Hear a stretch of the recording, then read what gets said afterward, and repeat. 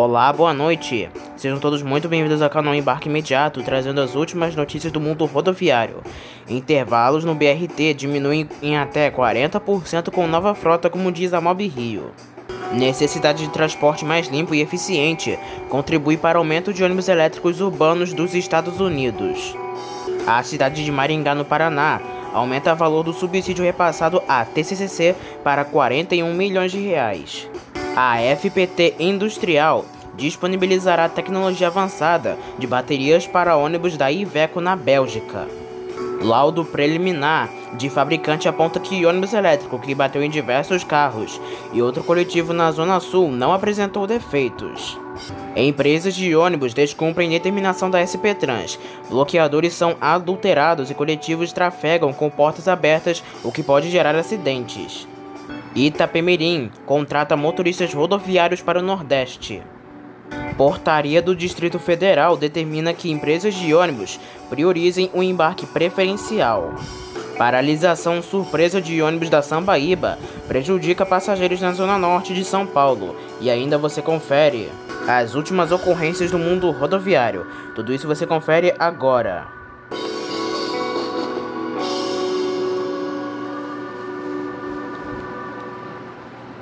Com 80 novos ônibus operando no corredor Transolímpica e no trecho Jardim Oceânico Alvorada, os veículos articulados que atendiam essas linhas foram deslocados para melhorar a frota dos outros serviços, o que fez com que os intervalos na Transcarioca e Transoeste diminuíssem até 40%.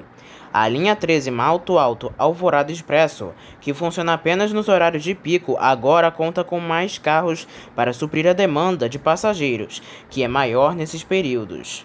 As linhas paradoras 25 Mato Alto Alvorada e 35 Madureira Alvorada têm menor tempo de espera, com aumento de veículos articulados na prestação de serviços e transporta agora mais passageiros. As linhas 12 Pingo d'Água Alvorada Expresso, 20 Santa Cruz Salvador Alender Expresso, 25 Mato Alto Alvorada Parador, 18 Recreio Jardim Oceânico Expresso, 35 Madureira Alvorada Parador, 40 Madureira Alvorada Expresso, 41 Madureira Recreio Expresso e 46 Penha Alvorada Expresso também registraram intervalo menor depois da chegada dos ônibus articulados na operação.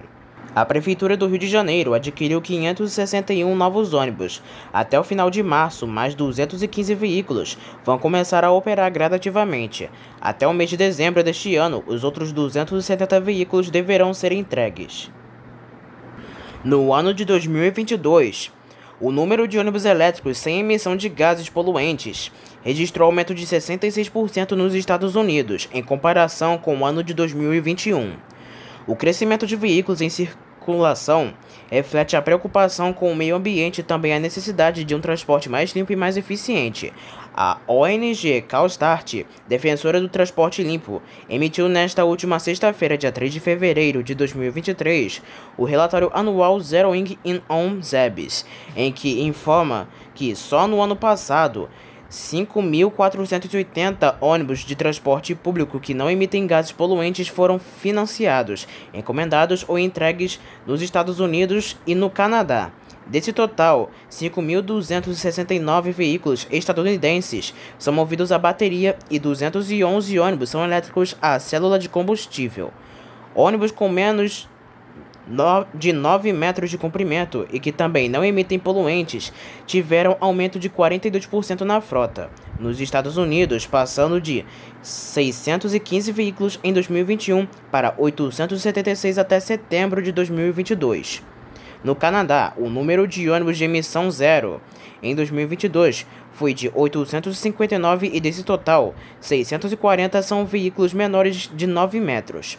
O estado da Califórnia concentra o maior número de ônibus elétricos e movidos a célula de combustível, com 1.977 veículos. A Califórnia, inclusive, exige que até 2030 novos ônibus adquiridos para o transporte público tenham emissão zero. Na costa oeste dos Estados Unidos está 41% de toda a frota de ônibus com emissão zero do país.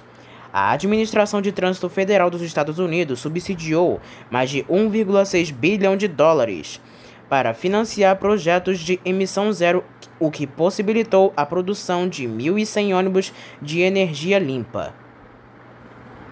Com o um aumento no valor da tarifa dos ônibus municipais de Maringá, que começou a valer neste último domingo, dia 5 de fevereiro, passando de R$ 4,00 para R$ 4,80, a prefeitura passou a repassar 41 milhões de reais de subsídio à TCCC, Transporte Coletivo Cidade Canção, responsável pelo transporte coletivo da cidade de Maringá.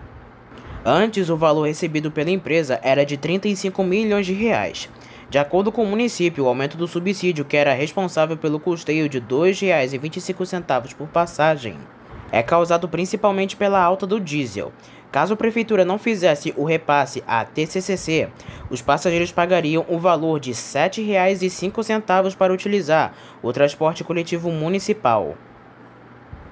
A FPT Industrial, líder mundial na área de produção de soluções de baixo impacto ambiental, fornecerá até 500 pacotes de baterias de alto desempenho à empresa alemã Iveco Bus.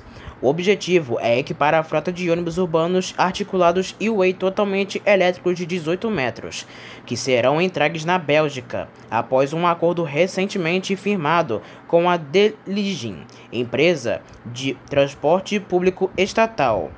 Os veículos serão usados em várias cidades da região de Flandres, com entregas começando em 2024. O primeiro lote de 65 veículos e potencial de continuar ocorrendo ao longo de seis anos. Esta será a maior frota de ônibus elétricos articulados da Iveco Bus em operação. Produzidos na fábrica da e-Powertrain, neutra em carbono da FPT Industrial, em Turim, na Itália, os pacotes de baterias da marca foram desenvolvidos para veículos comerciais leves, micro-ônibus e aplicações de ônibus. O novo centro de produção é a primeira fábrica do Iveco Group totalmente livre de carbono, atingindo as metas ao compensar as emissões de CO2 com a compra de energia de fontes renováveis e créditos de carbono. O conjunto de baterias de 69 kW da FPT para aplicações em ônibus da Iveco Bus é um pacote modular de baterias que oferece uma densidade de energia impressionante para garantir o melhor desempenho da classe em ônibus urbanos. Graças também à tecnologia NMC, lítio-níquel, cobalto e manganês, a solução mais versátil, potente e de alto desempenho até hoje. O PEX EBS 69 oferece carga e descarga rápida. A grande flexibilidade e as soluções modulares tornam os pacotes de baterias da FPT adaptáveis a diferentes aplicações, tanto em ônibus urbanos quanto intermunicipais. Além dos packs de baterias, a fábrica e-Powertrain também produz eixos elétricos para veículos comerciais pesados e módulos de transferência de potência para veículos comerciais leves e representa outro marco importante para a FPT industrial em seu processo de descarbonização e em sua estratégia para atingir emissões líquidas zero com os seus produtos e todas as suas atividades industriais. Agora falamos sobre as últimas ocorrências do mundo rodoviário. Na manhã de sol deste sábado, dia 4 de fevereiro, a Polícia Militar do Estado do Rio de Janeiro segue atuando no verão da cidade do Rio de Janeiro, intensificando as ações do patrulhamento transportado em ônibus urbanos. As ações dos militares ocorreram em diversos bairros, como no centro, na Avenida Presidente Vargas, na altura do Campo de Santana, na Rua Pinheiro Machado, em Laranjeiras, nas proximidades da Praça Demetério Ribeiro, em Copacabana, na Zona Sul. Já na Zona Norte, a ação de fiscalização nos ônibus ocorreu na Avenida Roberto Dinamite, em frente ao Estádio de São Januário, no bairro de São Cristóvão. Um ônibus urbano ficou totalmente destruído por volta das 7 horas da noite deste último sábado, quando cinco bandidos atearam fogo no coletivo na Avenida Irvante Kissajikian, na Vila Inglesa, Zona Sul de São Paulo. A Polícia Militar do Estado de São Paulo informa que os bandidos estavam com camisa sobre os rostos e que um deles possui uma tatuagem de palhaço no braço. A corporação informa que a ação de vandalismo considerada atualmente pelo governo federal como ato de terrorismo ocorreu após os bandidos obrigarem os passageiros a desembarcar e em seguida incendiaram o coletivo. O ônibus fazia linha 546L-10, Jardim Luso, Terminal Santo Amaro. Por conta da ação do terrorismo, ao incendiar o ônibus, milhares de pessoas da região foram prejudicadas com a falta de energia, já que as chamas atingiram um poste de energia elétrica. Agentes do Corpo de Bombeiros de São Paulo foram acionados e conseguiram conter as chamas. A polícia fez buscas pela região à procura dos suspeitos, porém, de acordo com a Polícia Civil, ninguém foi preso. Acredita-se que a ação seria uma retaliação por conta de um jovem que foi morto durante um confronto com homens da Força Tática na semana passada. Um grave acidente envolvendo um carro e um ônibus rodoviário da empresa Textur deixou duas pessoas mortas na madrugada deste domingo, em Governador Valadares. De acordo com a Polícia Rodoviária Federal, o acidente teria ocorrido por volta de 1 hora e 30 minutos da madrugada, na BR-116, na altura do bairro Planalto, em Governador Valadares. O motorista do ônibus e do carro morreram. Ambos foram identificados como Eliseu da Silva Rosa, de 44 anos, e Widson de Freitas Gualberto, de 50 anos. Agente do SAMU foram acionados para o local, porém o motorista do coletivo Eliseu da Silva Rosa, que ficou preso às ferragens, retirado pelos bombeiros, com vida, mas morreu durante o atendimento na ambulância do SAMU. O coletivo seguia a viagem com 43 passageiros e dois funcionários. Apesar do susto, não houve feridos entre os passageiros. A linha que o ônibus fazia não foi informada e um outro veículo foi providenciado e as causas do acidente serão investigadas. Um acidente envolvendo dois ônibus, sendo um urbano e outro rodoviário, deixou ao menos 10 feridos na manhã deste último domingo na BR-116, no distrito de Matinha, em Feira de Santana. De acordo com a Polícia Rodoviária Federal, agente do SAMU, foram acionados e os feridos apresentaram escoriações leves e foram encaminhados para um hospital da região. A linha em que o ônibus fazia não foi informada. A dinâmica do acidente também não foi divulgada e as causas estão sendo investigadas. Uma ação de fiscalização da Polícia Rodoviária Federal apreendeu por volta das 3 horas da tarde do último sábado 7 mil maços de cigarro. A apreensão ocorreu na altura do quilômetro 800 da BR-242, no município de Barreiras, quando o ônibus rodoviário que fazia a linha São Paulo-Irecê foi parado pelos agentes da Polícia Rodoviária Federal, em frente à unidade operacional da corporação, os PRFs. Ao fiscalizarem um compartimento de bagagem, localizaram uma caixa contendo 7 mil maços de cigarro de origem estrangeira que foi despejada via encomenda, conforme minuta da empresa, em São Paulo com destino a Barreiras. Diante dos fatos, foi constatada a ocorrência de contrabando, sendo material apreendido apresentado na, de na Delegacia de Polícia Federal para abertura do inquérito policial e continuidade das investigações. O ônibus elétrico que atingiu diversos carros e outros ônibus na região do Jardim das Imbiúnas, na zona sul da capital paulista, na última sexta-feira, dia 3 de fevereiro de 2023, não apresentou defeitos que contribuíssem para o acidente de acordo com o laudo preliminar realizado pela fabricante BID, a pedido da empresa operadora Transwolf. Os dados foram enviados para a fabricante na China, que deve dar retorno nesta terça-feira. Ainda falta a conclusão do laudo da Polícia Civil para o inquérito que investiga o caso. A conclusão oficial será da polícia, mas o laudo da fabricante será parte do inquérito. Apesar das cenas impressionantes, ninguém se feriu gravemente no acidente. Empresas de ônibus de São Paulo estão descumprindo uma determinação da SP Trans e coletivos são flagrados trafegando com portas abertas ou arrancando dos pontos, sem ainda as portas estarem completamente fechadas, o que é um perigo, podendo causar graves acidentes, no especial no desembarque. Não precisa de muito tempo observando os ônibus para verificar o problema. Basta ficar em um ponto e ver que o mesmo, antes de fechar as portas completamente, muitos ônibus já partem. Sob condição do anonimato, funcionários de viações dizem que equipamentos que deveriam impedir que os ônibus trafeguem as portas abertas no setor de transporte chamado de Anjos da Guarda são adulterados. Os novos ônibus já saem de fábrica com estes aparelhos, mas nas garagens são mexidos. De acordo com estes trabalhadores, tudo para ganhar segundo que, se somados em milhares de paradas nos pontos em que os ônibus fazem por dia em São Paulo, podem fazer a diferença no cumprimento de horários, mas a segurança dos usuários é colocada em risco real.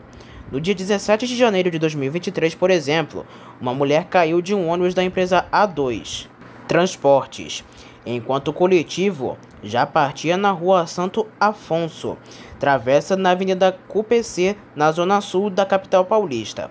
A porta do meio estava fechando e o ônibus já se movimentava. A mulher sofreu ferimentos. A SP Trans, que gerencia os transportes na capital paulista, reconhecem que o problema existe e diz que fiscaliza as multas às empresas de ônibus. Somente em 2022 foram aplicadas 60 autuações referentes à circulação de ônibus com as portas abertas. Em janeiro de 2023 foram três multas. Balanço da SP Trans contabiliza 14 empresas autuadas em 2022 e duas em 2023. A multa para cada flagrante de circulação com as portas abertas é de 792 reais. Sobre o caso da mulher que caiu no desembarque, a SP Trans diz que foi constatada imperícia do motorista que foi afastado. No dia 31 de janeiro de 2023, um homem de 82 anos morreu na região de Aricanduva, na zona leste de São Paulo, logo após desembarcar e cair sob a roda dianteira de um ônibus da Alibus Transportes. Pelas imagens, não é possível ter plena certeza de que o veículo já tinha fechado a porta dianteira, mas, mas foi questão de segundo entre o desembarque, a queda e o motorista começar a sair com o ônibus e passar por cima do homem. A SP Trans apura as circunstâncias.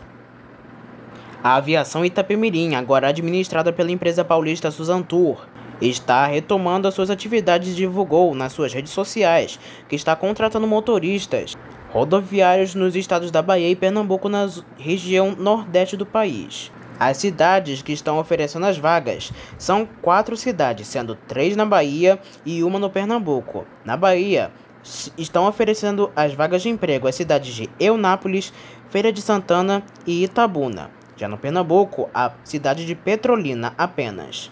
Para concorrer à vaga do candidato, a empresa exige os seguintes requisitos: CNH, Carteira Nacional de Habilitação nas categorias D ou E, com EAR incluso, ensino fundamental completo, experiência comprovada em carteira profissional na condução de veículos em grandes portes em rodovias CNH, D ou E em EAR incluso e curso de transporte coletivo atualizado e incluso na CNH.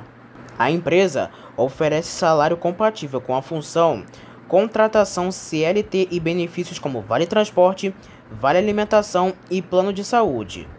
Para mais informações, basta entrar em contato com a empresa através do número 11 94336 6431. Os candidatos interessados também deverão enviar currículo pelo e-mail recrutamento.visa@susantu.com.br. Uma portaria publicada nesta última sexta-feira, dia 3 de fevereiro de 2023, no Diário Oficial do Distrito Federal, manteve o embarque preferencial obrigatório em todos os ônibus que circulam no Distrito Federal. O embarque é do grupo prioritário, que inclui pessoas com deficiência com mobilidade reduzida e idosos com idade igual ou superior a 65 anos, gestantes, lactantes e pessoas com crianças de colo deverá ser fiscalizado pelos próprios funcionários das concessionárias do Sistema de Transporte Público Coletivo do DF, inclusive motoristas e cobradores. No caso de descumprimento, as prestadoras do serviço de transporte pagarão multa. A Secretaria de Transporte e Mobilidade explica que, por meio de nota, que a portaria segue as regras do embarque preferencial determinadas por lei federal. As denúncias de descumprimento da portaria devem ser feitas pelo telefone 162 da Controladoria Geral do Distrito Federal as reclamações serão encaminhadas para o Departamento de Fiscalização e, caso sejam comprovadas, as empresas receberão penalidades que variam de advertência até multa no valor mínimo de 495 reais por infração. E antes de encerrar, uma última notícia. Passageiros de ônibus da empresa Sambaíba, na zona norte de São Paulo, foram pegos de surpresa na manhã desta segunda-feira, dia 6 de fevereiro, por uma paralisação das linhas. Nas redes sociais, os usuários relatam longas esperas nos pontos.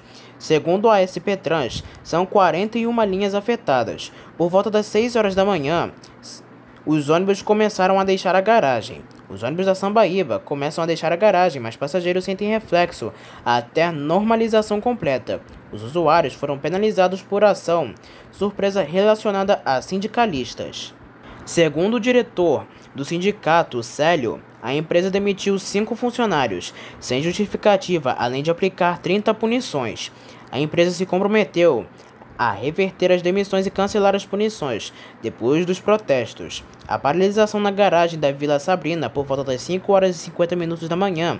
Os ônibus começaram a deixar o local. Então essas foram as últimas notícias do mundo rodoviário. Não se esqueçam que em breve teremos mais notícias para vocês. Espero que tenham gostado do vídeo. Uma boa noite para todos e até a próxima.